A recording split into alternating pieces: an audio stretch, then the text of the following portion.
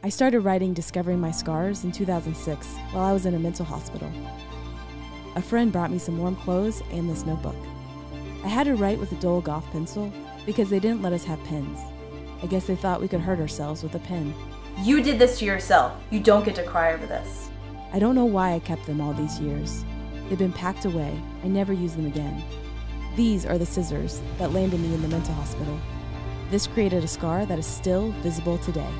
But that's only where the story begins. Why are you crying?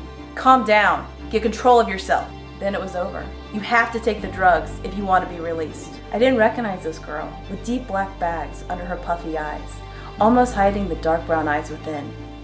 Her lips were drained of any color, and her skin was a pale shade of gray.